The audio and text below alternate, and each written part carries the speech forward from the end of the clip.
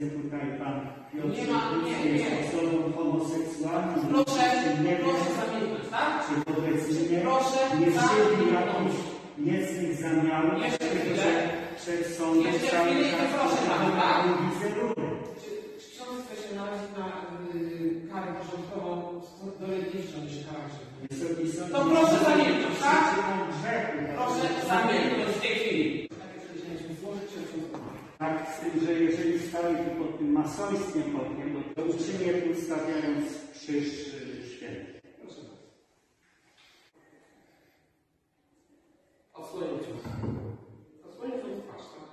Nie całuję szanowny panie sędzio do wyznaczenia moich słów i odpowiedzialności przed prawem. przyrzekam uroczyście, Przyrzekam uroczyście że będę mówił szczerą prawdę, wobec Boga w Trójcy Jedynego że będę mówił szczerą prawdę, i Pana Jezusa obecnego na że tym będę mówił krzyżu, szczerą prawdę, że będę mówił tylko szczerą prawdę. Proszę mi powiedzieć, nic mi z Pana strony nie grozi, Pan nie ma upodobania czasem w księżach, bo jeszcze dziewic jestem, Szanowny Panie.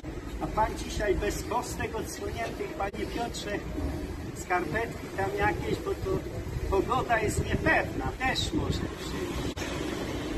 No proszę. A Pan ma wygląd rzeczywiście, jak teraz się przypatrzę,